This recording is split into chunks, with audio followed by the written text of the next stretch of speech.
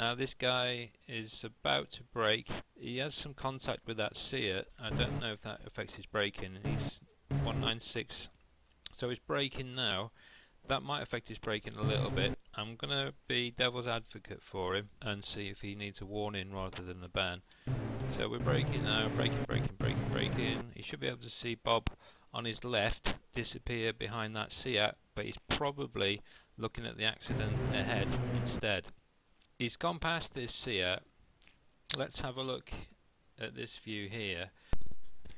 Okay, this is a driver's eye camera just before the impact with Senior Bob. So let's go back. So this is a load of mayhem happening. A couple of other blokes have braked late. So here we go. This is uh, our guy Johan. He's got hit by a seer, which turns him into Senior Bob. He's turning, he's turning, he's turning. He still doesn't know Senior Bob's there. He's turning, he's turning. Now, he stopped turning, but what happens? He's being turned by the seer. So he's thrown into Senior Bob there. So it bounces off him. So that really, I wouldn't say that was uh, even a warning, just something to learn from. Now, he doesn't know Bob's there, again. This guy hasn't got very good awareness. So, he's looking ahead. Look at all these cars gone, gone off track. And there's a car just here, look, spinning. So there's lots to do, lots to see. Looking at that, we're looking at that, we're looking at that, we're looking at this, we're looking at that. We're not seeing Bob. We're just too busy looking at all there.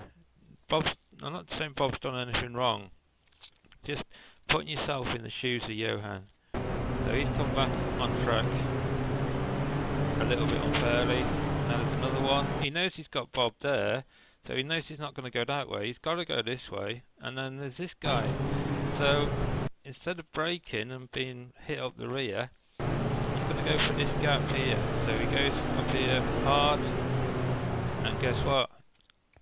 Oh no, he's hit Bob. Go for this gap here. And he just doesn't realise Bob's there. It's not very good awareness. But I don't think it's anything we should ban him for. So he's slowing down, slowing down. He's, he's not deliberately going to hit anybody. He's braking as hard as he can. Bob's had to go on the grass there. He was just a passenger. So he's not done anything wrong so far. Not that bad anyway. That, car spins behind him. Shit happens. His fault. See if he does anything wrong.